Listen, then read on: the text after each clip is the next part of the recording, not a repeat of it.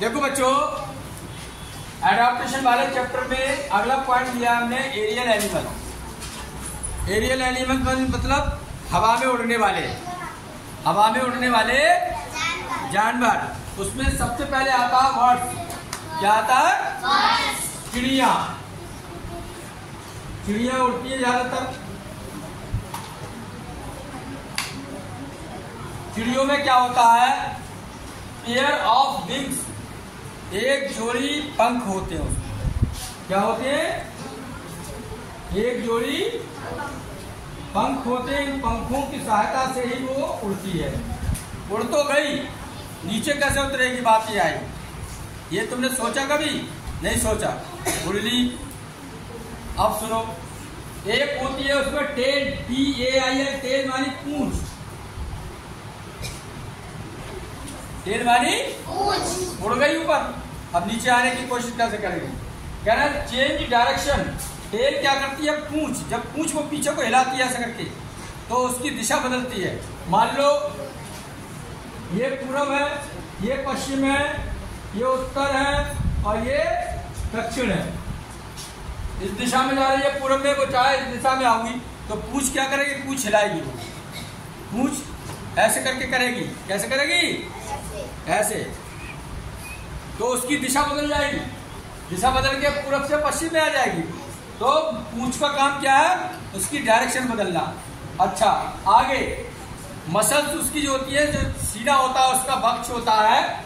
Muscles of chest उसकी सीने की जो हड्डियाँ होती है, वो बहुत मज़बूत होती है।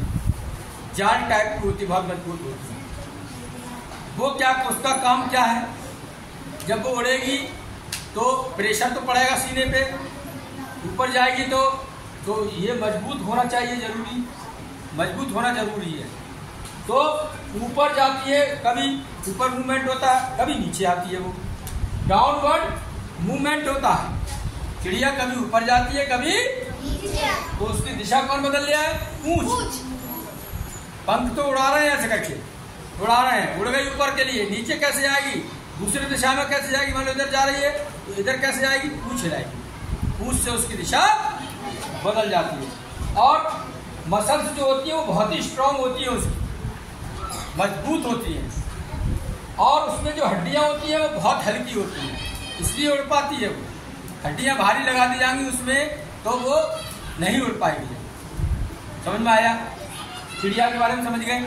चिड़िया होती है, चिड़िया के एक जोड़ी पंख होते हैं, एक जोड़ी पंख होते हैं उसके चिड़िया के, और इनसे उड़ती है वो, एक पूंछ होती है, पूंछ से वो दिशा बदलती है, कभी पूरब में जा रही है, पूंछ हिलाई उसने तो एकदम पश्चिम में आ जाएगी समझ रहे हो? अच्छा मसल्स उसकी सीने की बहुत मज़बूत होती हैं, जो कि उसके लिए ऊपर और नीचे ले जाने में मदद करती हैं।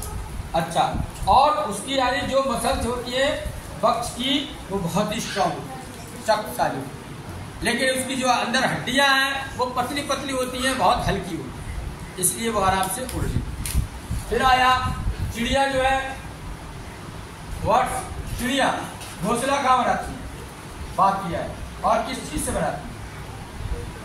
नेक्स्ट हमारी घोसला।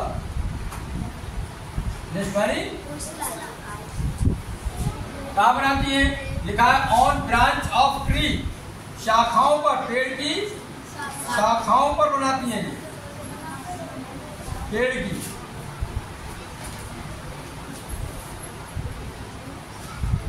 शाखाओं पर। और किस किस चीज़ से बनाती है? बात यह है।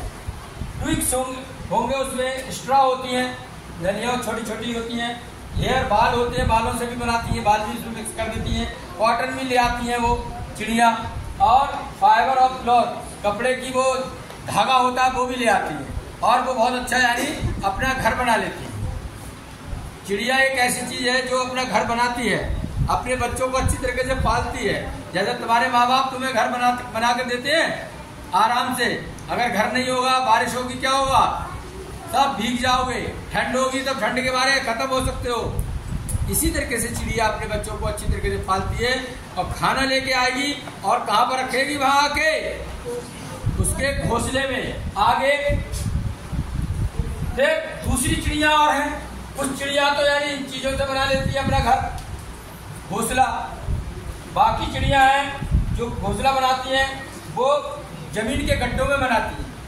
Pits of pits in ground ज़मीन के गड्ढे होते हैं, ऊँचे नीचे गड्ढे होते हैं। उसमें बना लेती है। सिर्फ़ पे बना लेती है। जो यानी पतली पतली वो होती है, उसकी यानी लौकी वगैरह के तने से निकलते हैं येलो कलर के। उस पर बना लेती है। कुछ गड्ढू यानी पेड़ के, पेड़ में छेद कर देती है। उसमें बना लेती है। तोता है, पेड़ की खोखल में रहता है। देखा तोता? छेद होते हैं पेड़ के अंदर, उसमें रहता है। तो कुछ पेड़ के यानी छेद करके उसमें बना रहते हैं। और कुछ चिड़िया अपने चीज़ों से बनाती हैं, वो हमारे गमले पे बना ले, कहीं पर बना सकती हैं। Thank you very much